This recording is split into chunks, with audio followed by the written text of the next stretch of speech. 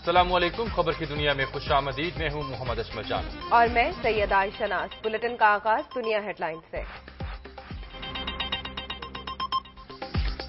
तीर्थर बंद टूटने से निकलने वाला पानी कराची पहुँच गया। शहराय फैसल सबसे पहले मुतासर। गुलिस्तान जौहर और एयरपोर्ट में पानी दाखिल।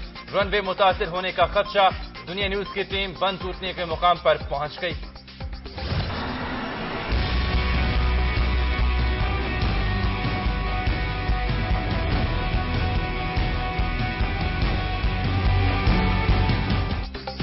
अहले कराची दूसरे रोज भी पानी के असीर। सादी टाउन और सपूरा गोट भी डूब गए। शहरी हालात के रहमो करम पर फरियाद करें तो किससे करें।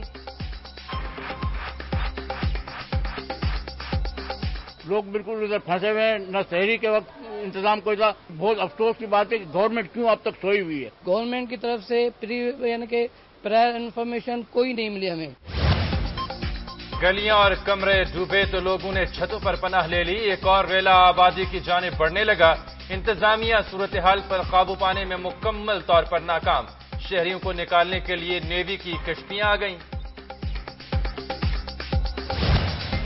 गुलिस्तान जौहर कराची में घर की छत गिरने से माँ, बेटा और बेटी जाम बहक। हलाकतों की तादाद चौदह हो गई।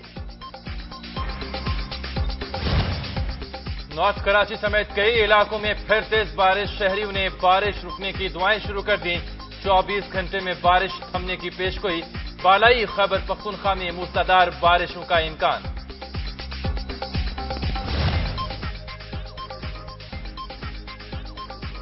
लॉस एंजलिस में शदीद हादसे सा मुसाफिर बाल बाल बच गए। बेकार काबू साहिब